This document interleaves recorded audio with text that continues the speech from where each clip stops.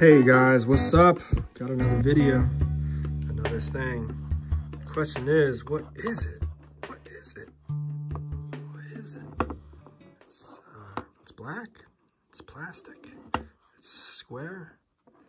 Um, you know, it's multi-purpose actually. Here, look, it actually opens up like this. And, um, you know, you can put a lot of different things inside of it. Um, and then you can put it in your pocket and whatever is inside it, it keeps it safe. Um, so a lot of different applications. This just so happens to officially be a condom protector. Look at that, okay? So fits perfectly. Condoms will get crinkled up if they're in your pocket. You don't want that to happen. And now they're safe and secure. Condom protector. Who'd have thunk?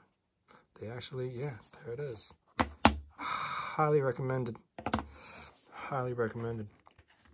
I mean, that is if you use condoms, and you totally should. If,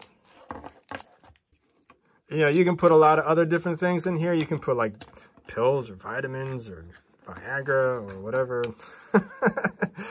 whatever you want to keep safe inside your pocket. There it is, guys.